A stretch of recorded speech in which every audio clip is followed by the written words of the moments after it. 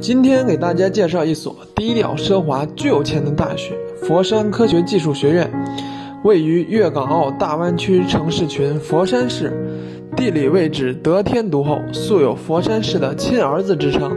雄厚的资金引来一流的人才，现有院士九人，长江学者等二十八人。此外，聘请诺贝尔奖得主杨振宁、丁肇中为教授。设有十六个学院，七十个本科专业，六个一级学科硕士学位，五个专业硕士学位授权点等众多一流专业。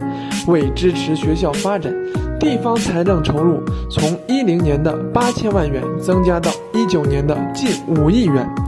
种下梧桐树，引来金凤凰。